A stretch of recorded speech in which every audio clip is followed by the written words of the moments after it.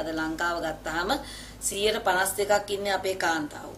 එතකොට මේ 152ක් වූ කාන්තාවන් හිටියට පාර්ලිමේන්තුවේ ගත්තාම පාර්ලිමේන්තුවේ ඉන්නේ മന്ത്രിතුමියන්ලා 12 දෙනයි. එතකොට ඒක බොහොම අඩු ප්‍රමාණයක් ඉන්නේ. ඉතින් තීන්දුව තීරණ ගන්න ස්ථානවල අපි දකින්නේ මීට වැඩිය කාන්තා නියෝජනයක් සිටිය යුතුයි.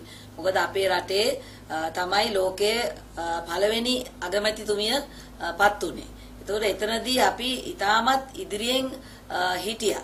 නමුත් පසු වෙන්න පසු වෙන්න ඒ ගත්ත පිම්ම අපිට තව වැඩි කිරීමට අපිට අවස්ථාවක් උනේ නැහැ. ඉතින් මේ වෙලාවේදී අපි විශේෂයෙන්ම කියන්නේ අපි කරපු සටන තව ජයග්‍රහණය විජයග්‍රහණයක් කරගන්න නම් අපි මේ දේශපාලන භූමිකාව තුළ පක්ෂ ભેදයකින් තොරව අපිට කාන්තා නියෝජනය වැඩි කිරීමක් අවශ්‍යයි.